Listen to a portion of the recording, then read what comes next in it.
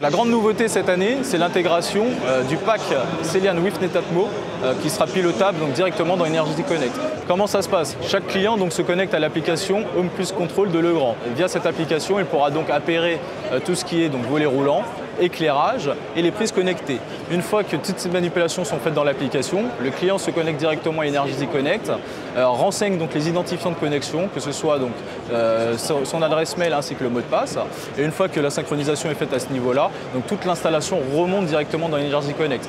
L'avantage, c'est que c'est des produits effectivement radio, donc il n'y aura pas de câble à tirer, euh, ni de travaux à prévoir en plus.